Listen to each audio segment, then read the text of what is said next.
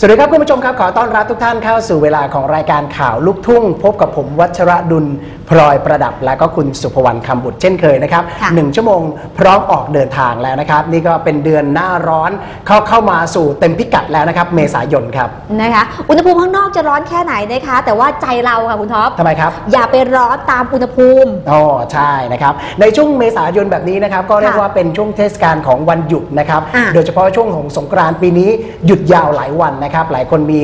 แผนสำหรับการเดินทางท่องเที่ยวก็อย่าลืมสำหรับการจองตั๋วอ่าจองที่พักหรือว่าค่ะ เอ่อดูเส้นทางการเดินทางนิดนึงว่าจะหลบจะเลี่ยงกันอย่างไรบ้าง นะคะ ก็ขอให้เที่ยวอย่างมีความสุขละกันนะคะ ในช่วงของเทศกาลสงกรานต์ ใช่ค่ะนะครับ แล้วก็ในช่วงนี้นะครับเรามาติดตามข่าวลูกทุ่งกัน พูดถึงการเดินทางนะครับ นักร้องเขาก็เดินทางเหมือนกันครับช่วงนี้ แต่ว่าคนนี้เดินทาง go inter ไปไกลเลยทีเดียวนะครับนั่นก็คือดวงตาคงทองครับ วันนี้เธอออกมาเปิดใจกับทางทีมข่าวลูกทุ่งนะครับว่าในช่วงกลางปีนี้ เธอมีคิวจะเดินสายไปแสดงคอนเสิร์ตที่ประเทศเยอรมันนะครับ จริงๆแล้วเนี่ยประเทศเนี้ยแล้วก็เจ้าภาพเนี่ยนะครับได้อ่าติดต่อเธอมาตั้งแต่เมื่อปีที่แล้ว แต่ปรากฏว่า clear คิวงานกันไม่ลงตัวนะครับเธอบอกว่าในช่วงกลางกลางเดือนเมษายนนี้นะครับ ก็จะ clear คิวให้กับที่นู่นได้นะครับแล้วก็จะเดินทางไปอยู่ที่นู่นประมาณสัก 15 วันครับ ซึ่งนักร้องสาวเสียงดีดวงตาคงทองก็ออกมาเปิดใจนะครับว่าการเดินทางในครั้งนี้นะครับก็ถือได้ว่าเป็นไปพักผ่อนด้วย แล้วก็หลังจากกลับมาก็จะเป็นการโปรโมทอัลบั้มใหม่ต่อทันที เพราะว่าตอนนี้เนี่ยได้ร้องไว้ทั้งอัลบั้มเสร็จเรียบร้อยแล้ว รอการกลับมาจากการเดินสายโชว์ที่เยอรมันอีกครั้งหนึ่งก่อน โอ้อืมต้องบอกว่าเป็นอัลบั้มที่น่าจับตามองอย่างยิ่งนะคะครับเพราะว่าด้วยน้ำเสียงของดวงตาแล้วอะครับนะคะเป็นนักร้องที่มีรางวัลการันตีอะ ใช่นะครับและโดยเฉพาะอย่างยิ่งได้บอกว่าค่ะดนตรีอัลบั้มชุดนี้ก็บอกว่าจะมีสีสันแล้วก็ความทันสมัยมากขึ้นนะครับ ก็ต้องติดตามนะครับว่าชุดนี้จะประสบความสำเร็จเหมือนกับอัลบั้มชุดก่อนๆของเธอที่ผ่านมาหรือไม่ครับ ค่ะ จากสาวเสียงสวยนะคะ ไปกันที่สาวเอวสวยกันบ้างดีกว่านะคะ เรื่องราวของน้องกระแตอาสยามค่ะ ซึ่งเป็นเรื่องราวของหัวใจแล้วก็เรื่องหนุ่มๆนั่นเองซึ่งหลายคนนะคะ จับจ้องจับตามองกันอย่างยิ่งเลยทีเดียวค่ะ เป็นลูกทุ่งสาวที่มีข่าวกับหนุ่มๆอยู่บ่อย ๆนะคะสำหรับนักร้องสาวมั่นกระแตอาสยามค่ะ ส่วนมากข่าวมักจะออกมาจากรูปที่เธอถ่ายกับหนุ่มๆเนี่ยแหละค่ะ ไม่ได้เจอกับกระแตอาสยามนะคะ ก็เลยถามว่าต่อไปนี้เนี่ยจะ ต้องระวังตัวมากขึ้นไหมสาวมั่นเอวสวยของเราก็บอกว่าจริง ๆ ส่วนมากเนี่ยกระแตเป็นคนที่ไม่ได้ถ่ายรูปกับใครเลยนะคะเป็นคนที่ยากมากกับการที่จะเอ่ยปากขอถ่ายรูปกับใคร แต่ก็จะสนุกกับคนที่สนิทชิดจริง ๆ นะคะแต่ถ้าไม่สนิทเนี่ยก็ดูก่อน ยอมรับว่าตอนนี้เริ่มจะขีดเส้นนะคะ เริ่มสแกนคนที่จะเข้ามา เพราะว่าเราเจอที่คิดว่าเราใช้ใจให้เขานะคะแล้วโลกมันไม่ได้สอนว่าเราจะเขาจะให้ใจกับเรามานะคะพอใครเข้ามาก็เลยต้องดูให้มากขึ้นนะคะซึ่งตอนนี้โสดมากๆนะคะมีคนเข้ามาคุยเหมือนกัน แต่ว่าเจ้าตัวบอกว่ายังไม่ถูกใจสักคนเลยอ๋อก็เรียกว่าสวยเลือกได้ก็คงต้องใช้คำนี้ได้อะเหมือนเคยนะครับน้องกระแตอาร์สยามครับมาที่สาวคนนี้บ้างครับน้องเลดี้เซฟเวอร์นะครับก็คือน้องแอนนานั่นเองนะครับต้องบอกว่าเธอเป็นเจ๊ดันตัวจริง เพราะว่าเธอนั้นได้ผลักดันนะครับคุณบอยพอตเตอร์เข้ามาสู่สังเวียนการเป็นนักร้องของสังกัดรถไฟดนตรีนะครับคุณบอยพอตเตอร์เนี่ยก็เป็นนักร้องจากเวทีการประกวดรายการรายการหนึ่งมานะครับแล้วก็มีความฝันว่าอยากจะเป็นนักร้องกับเขาเหมือนกัน แต่เผอิญเผอิญครับได้เรียนอยู่ในสถาบันเดียวกันของกับคุณแอนนาอยู่อยู่ในวงสมาชิก Lady s u p p e r เนี่ยนะครับวันนี้เราไปสัมภาษณ์คุณแอนนานะครับในฐานะเจดันครับ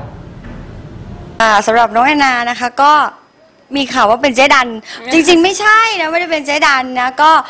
อ่าเห็นน้องอยู่มหาลัยเดียวกันน้องก็เลยชวนให้น้องเนี่ยมาเทสเสียงที่ค่ายรถไฟดนตรี แล้วก็น้องแบบว่าฟลุกอะไรอย่างเงี้ยใช่ไหมฟลุกมาก อ่าฟลุกนะติดเลย ค่ะก็ถือว่าเรียกว่าเป็นการเอ่อสร้างฝันให้กับคนที่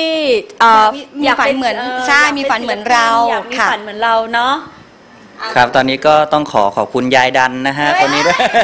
เขาบอกว่าไม่ใช่เจดันเนี่ยเป็นยายดันนะครับ ก็เป็นเป็นรุ่นพี่นะครับที่ที่ที่รู้จักกันมานานแล้วเนาะนานตอนนี้แล้วครับ ตอนนี้ก็ได้มาเป็นศิลปินสังกัดเดียวกันครับ เวลาไป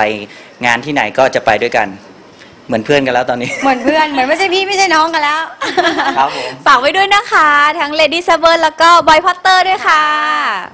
แหมถ้าเกิดว่าไม่เชียร์น้องในมหาวิทยาลัยของตัวเองก็ไม่รู้จะไปเชียร์ใครใช่ป่ะ ใช่ค่ะอ่าและที่สำคัญเนี่ยน้องบอยเนี่ยเขาก็มีดีกรีความเป็นแชมป์ด้วยนะ เสียงดีด้วย ใช่ ก็น่าชวนมาร่วมค่ายด้วย ใช่ครับ นะคะจากเรื่องราวของความแซ่บนะคะของน้องเรดี้แซบเบอร์นะคะต่อเนื่องกันที่สาวคนนี้แซ่บเหมือนกันค่ะเปรี้ยวจี๊ดเลยทีเดียวน้องไอซ์อาสยามนะคะ ตั้งแต่เธอเข้าวงการมาเธอบอกว่าเธอก็ยังโสดนะคะปัจจุบันนี้เธอก็ยังโสดนะคะอาจจะเป็นเพราะว่าเธอเนี่ยตั้งสเปคหนุ่มในหัวใจเอาไว้สูงเกิน แต่เธอก็ลดลดลดลงมาเรื่อยๆนะคะ วันนี้เธอพร้อมแล้วค่ะที่จะแถลงไขเกี่ยวกับเรื่องราวของหนุ่มๆนะคะใครที่จะเข้ามาหาเธอจะต้องมีสเปคแบบไหนค่ะ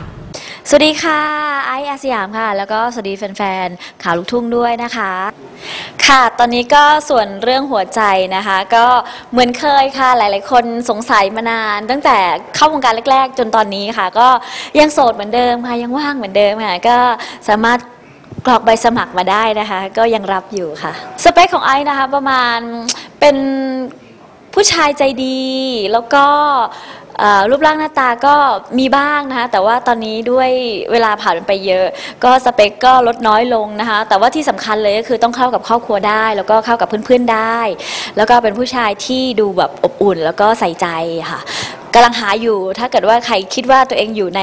ประมาณนี้นะคะ ก็นะ สมัครมาได้ค่ะ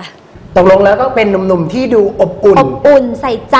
อะไรอย่างนี้นี้ใจดีอะไรอย่างนี้เทคแคร์นะครับแนะเจอนำว่ายังเป็นผู้ใหญ่ดีกว่าเจอยังเจอยังน้องบอกยังไม่เจอ ยังไม่เจอแล้วสุภวรรณน่ะเจอยังโอ้โหค่ะหนุ่มหนุ่มใหญ่ใจดีอะไรเงี้ยจริงๆที่ว่าเนี่ยเออสปอตอะไรเงี้ยเอเหรออคะอะไรเงี้ยสปอร์ตป๋าหน่อยจ่ายอะไรเงี้ยเป็นมะเป็นมะเป็นเหมือนในสเปคมะฮะเป็นอบมะอุ่นอบอุ่น ตัวใหญ่อะตัวใหญ่นะ อะมาถึงหนุ่มอบอุ่นคนนี้ดีกว่าค่ะ นะครับคุณไผ่พงศธรนะครับล่าสุดเจ้าตัวนะครับได้ออกมาฝากอัลบั้มชุดใหม่ล่าสุด กับทางทีมข่าวลูกทุ่งนะครับว่าอัลบั้มชุดนี้เป็นอัลบั้มชุดที่ 8 ก็มีความตั้งใจนะครับในการทำงานเหมือนกับทุกชุดที่ผ่านมาครับเมื่อไปเจอเจอกับทีมข่าวข่าวลูกทุ่ง ก็เลยได้มีโอกาสได้ฝากฝังนะครับผลงานชุดใหม่ล่าสุดนี้ทั้ง VCD และก็ CD ครับ งานเพลงตอนนี้ก็เป็นอัลบั้มชุดที่8นะครับตั้งใจในจะไปไม่ถึงก็วางแผงแล้วทั่วประเทศนะครับมีทั้ง DVD นะครับแล้วก็ CD นะครับยังไงก็ฝากไว้ด้วยโหลดเพลงที่ดอกจันหนึ่งสองสามเจ็ดศูนย์ศูนย์สามนะครับกับอัลบั้มตั้งใจแต่ยังไปไม่ถึงนะครับดอกจันหนึ่งสองสามเจ็ดศูนย์ศูนย์สามครับแหมเจอหน้าทีไรต้อง ขอมาขายของขายของตลอดเออเออต้องต้องขายของตลอดเลยนะฮะครับแล้วไปแล้วก็คงจะต้องไปอ่าเก็บสตังค์เออคือที่คุณไผ่ละบอกว่าขอส่วนไม่ได้เก็บแงที่พิติใช่ไหมคะ ไม่ได้เก็บพี่ตีครับแต่ที่น้องไผ่นี่แหละเออนะฮะขายของตลอดเลย แต่ก็เป็นน้องคนหนึ่งที่เวลาเจอทีมข่าวของเรานะครับก็จะน่ารักเป็นกันเองเสมอๆเลยทีเดียวนะครับนะคะคุณท็อปได้ดูหมัดเด็ดเสียงทองไหมโอ้สนุกมากไผ่ถอดเสื้อตลอดเลยอะเออเอาหน่อยหนึ่งเขาก็แบบว่าโชว์นิดนึงเออนั่นนั่นจ้ะนั่นจะอันเลยอย่างนี้เออนะน้องแล้วอันจะนะครับอะพูดถึงเรื่องราวของเบื้องหลังเนี่ยนะครับค่ะก็บอกว่าการซ้อมเต้นนะครับของนักร้องหลาย ๆคนเนี่ยเป็นความลับ เพราะว่าการที่จะมาซ้อมเต้นหรือว่าจะแบบว่าให้คนไปดูว่าตัวเองจะเต้นยังไงอ่าหรือว่าจะต้องทำโชว์ยังไงเนี่ยเป็นเป็นสิ่งที่เป็นความลับจนกว่า ที่จะงานเสร็จแล้วปั๊บคนถึงจะได้ดูเบื้องหน้าจะเปิดอะไรอย่างงี้ใช่ไหมแต่ว่าวันนี้ครับ exclusive มาก ๆ พิเศษสุด ๆ นะครับ เพื่อแฟน ๆ ข่าวลูกทุ่ง รายการของเรานะครับ ได้ไปซอกแซกนะครับ ที่หลังห้องซ้อมเต้นของน้องหลิวอารดา wow นี่นะครับ ไม่เคยเปิดให้ใครดูเลยนะครับว่า ค่ะ ขั้นตอนการซ้อมของเธอเนี่ย เป็นอย่างไรบ้างวันนี้ครับ เธอพาเราไปทัวร์ที่นั่นครับส วัสดีค่ะ หลิวอารดาค่ะ สวัสดีพี่ท็อป พี่น้องน้อย รวมถึงแฟนๆ รายการข่าวลูกทุ่งทุกท่านเลยนะคะ วันนี้นะคะจะพามาชมนะคะ การซ้อมโชว์เพื่อจะไปแสดงคอนเสิร์ตประจำปีนี้ของหลิวเลย คิดโชว์ใหม่เลยนะคะ จะเด็ดจะแซบยังไง ตามไปดูดีกว่า แล้ววันนี้จะพาไปแนะนำน้องๆ แดนเซอร์ด้วยนะคะ ไปกันเลยค่ะ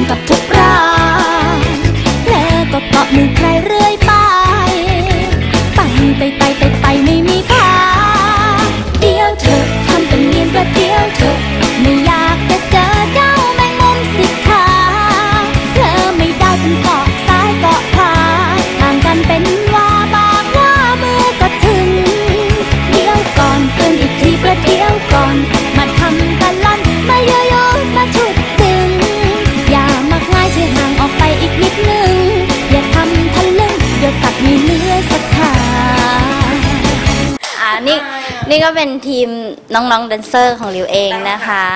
คือทุกทุกคนนี่เป๊ะมากเวลาเต้นนะคะ ก็ยังไง ถ้าเจอคอนเสิร์ตที่ไหนได้เลยค่ะ มาขอถ่ายรูปขอเบอร์ก็ได้ใช่ไหมได้ขอเบอร์ไม่ได้หรือนะเปล่าคะไม่ได้อ่าหัวหน้าทีมห่วงก็เออก็ก็นานคือมันก็ไล่ระดับไปค่ะ คนนี้นานสุดค่ะ แล้วนี่รองลงมา แล้วนี่ก็รองลงมานี่สุดท้ายเลยเนี่ยแก่สุด อันเนี้ยแก่สุดเอ้ยไม่ใช่ อันนี้ก็ประมาณจะสองปีแล้วค่ะสองสามปีได้สามสามปีค่ะเป็นคนยังไงอะคะน่ารักค่ะ ตลกขบขันพูดบ้าลูกปวดฉี่อย่างเงี้ยแบบน่ารักมากค่ะปวดฉี่อะเออเป็นคนอะไรก็ได้ค่ะ ง่ายๆเหมือนแบบว่าเฮ้ยมีงานหนึ่งพี่หลิวร้ องผิดแล้วพี่หลิวจะแบบ เพลงอะไรนะ ที่ร้องผิดแล้วหันมาแบบอย่างเงี้ยเลยนะมีงานเข้าจะร้องผิดไงร้องผิดนั่นแหละ น้องๆก็จะแบบว่าร้องขึ้นให้ท่าเต้นของหลิวเนี่ยจะไม่ได้นับแปดเขาก็คือจะร้องเพลงได้หมด จะเก็บตามคำเราก็เลยหันไปทำเฮ้ยต่อต่ออะไรวะอย่างเงี้ย คือน้องก็จะร้อง อันนี้ค่ะพี่หลิวอันนี้อะไรอย่างเงี้ยมันจะเป็นอย่างเงี้ยค่ะ มีงานหนึ่งแฟนเพลงเขาขอเพลงอะไรมานะ แล้วจำเนื้อไม่ได้บอกว่า เพลงนี้ขอไม่เอานะคะ เปลี่ยนเพลงใหม่ค่ะ ขนาดเนื้อไม่ได้ ขนาดขึ้นเหรอ เดี๋ยวเดี๋ยวเดี๋ยวเดี๋ยวเดี๋ยวหยุดก่อนเดี๋ยวหยุดก่อนหลิวจำเพลงจำเนื้อเพลงนี้ไม่ได้ค่ะใช่เต้นไปแล้วพี่หลิวว่าเดี๋ยวเดี๋ยวเดี๋ยวหยุดก่อนจำเนื้อไม่ได้เพลงนี้จำเนื้อไม่ได้ค่ะเดี๋ยวขอเปลี่ยนเพลงอะไรอย่างนี้เบาๆค่ะอันนี้ก็เป็นทีมงานแดนเซอร์ของริวเองนะคะ ใครที่อยากจะติดต่องานแสดงนะคะ รับรองว่าพวกเราเต็มร้อยทุกเวทีนะคะใช่ใช่ค่ะ แน่นอนเลย ติดต่อมาที่เบอร์ได้ไหมคะ ติดต่อมาที่เบอร์นะคะ หรือว่าบริษัท Music D Entertainment นะคะเบอร์โทรคุณเหรียญนะคะ 0819882063 ค่ะบายบาย แล้วพบกันนะคะ